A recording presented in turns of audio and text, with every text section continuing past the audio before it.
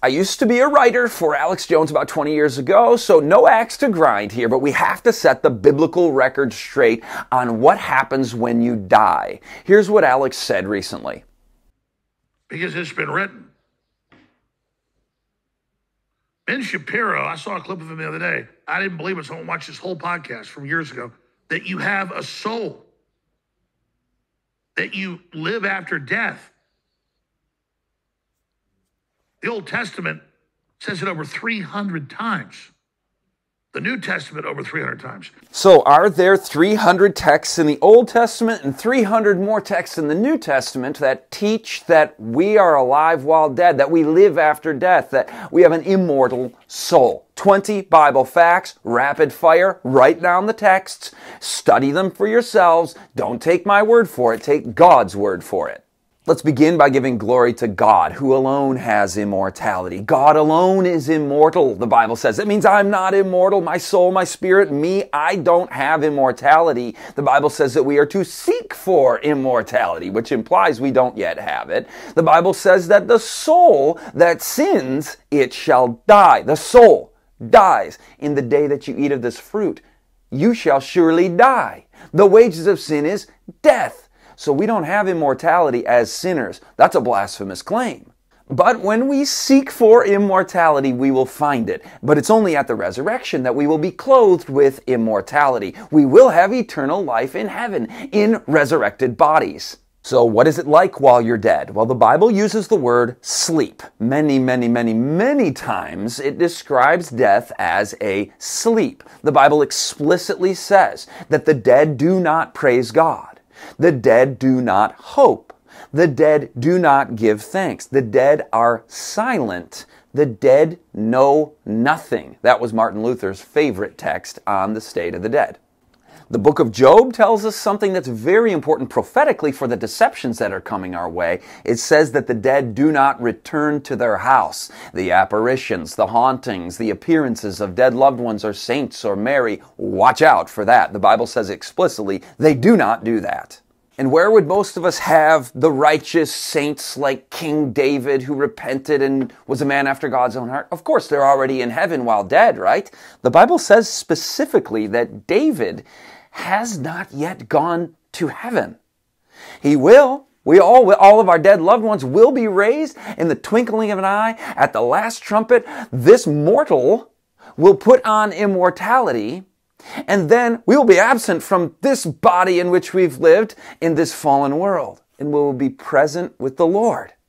Now, you heard earlier that the soul dies. Well, what about the spirit? Is that immortal? Is my breath immortal? Spirit and breath, same word in the Bible. Well, Ecclesiastes tells us that our breath is no different than that of animals. So if animals have immortal spirits that live on for eternity, then maybe we do, but we don't see that taught in the Bible. Now, to understand what a soul actually is, you go to the Genesis account of God making Adam. It says Adam became a living soul.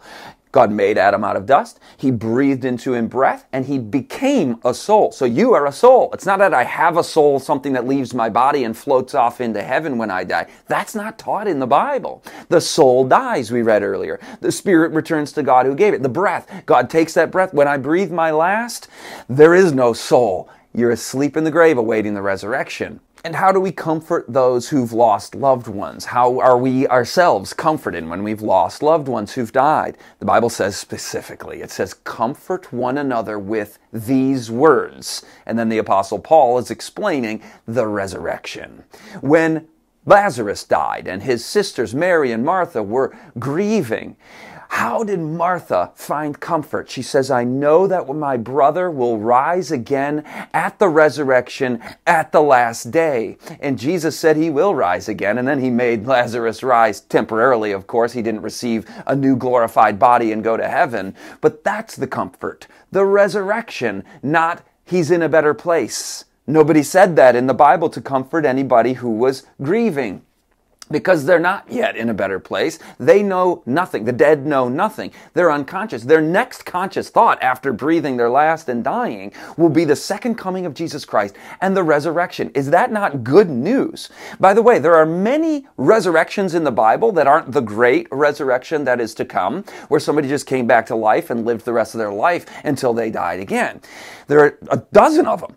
Not a single one has the person coming back from the dead explaining what the afterlife was like and what it was like in heaven. Sorry, after death. Sorry, heaven is for real. I know you guys mean well, but it is not biblical. Think about Lazarus. He had been in heaven for four days when he was resurrected. Why did you bring me back here? He would have said, right? Jesus told Lazarus, Come forth from the tomb, not come down from heaven. Now, before we continue, I actually recommend you pause the video here, review the dozens of texts that we've looked at so far, and know for yourself what the Bible teaches on this. Because what you're about to encounter is a challenge. It's going to make the Bible seem like it contradicts itself. So as we resume now, pause now, now we're going to ask the question, what about the thief on the cross? Didn't Jesus tell the thief on the cross, you're going to be with me today in paradise on Good Friday when they were being crucified? Well, if that's the case, then the Bible does contradict because we've just seen a, a, voluminous testimony in God's Word that they wouldn't be alive while dead in heaven. Notice that the thief asks Jesus, Remember me when you come into your kingdom.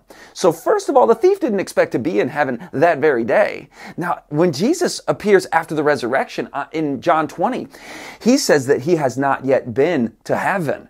So, that would make Jesus a liar if he told the thief, I'm going to be with you in paradise today on Friday, and then two days later on Sunday, he says, I haven't yet been there, then he lied to that thief. Jesus does not lie. The Bible says God cannot lie.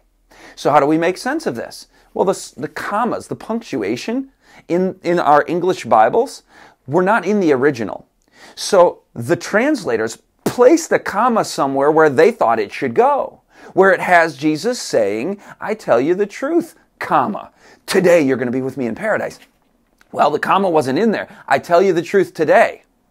You will be with me in paradise.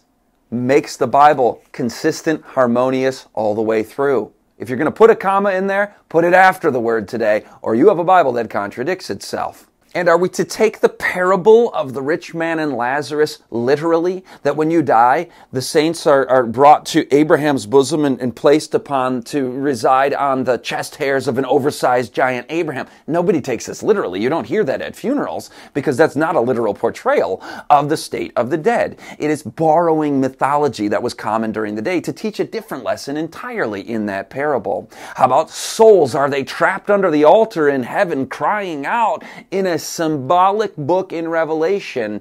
This is no more literal than Abel's blood crying out from the ground in Genesis, the souls under the altar, cry, altar crying out for justice and vengeance from God in that symbolic apocalyptic book of Revelation, not to be taken literally any more than the parable of the rich man and Lazarus is taken literally like the talking trees in the book of Judges, the parable of the trees. We can't have in the same Bible the dead know nothing and God alone is immortal, while at the same time we have immortality living under an altar or on a bosom. So the Bible does not contradict. Symbolism, parables, you understand. So, where did this vast deception come from that has penetrated almost all of Christianity for nearly 2,000 years? It came in very early. In the early centuries, Platonic philosophers became church fathers who were godly and great and leaders in their own way, many of them martyrs, but they came from the schools of Greek philosophy where they had this notion of dualism that there is flesh and there is immortal spirit or soul that can leave your body upon death. It is not biblical. It came out of Greek schools of philosophy. And so we can just simply end with where did this lie all come from? The first lie ever told in the history of this world was the serpent saying to Eve that as a sinner, as a person who eats of this fruit, you will not surely die. God says that the wages of sin is death. The sinner dies, the soul dies. Satan says, You will not surely die. You are immortal. Blasphemy. Thank you.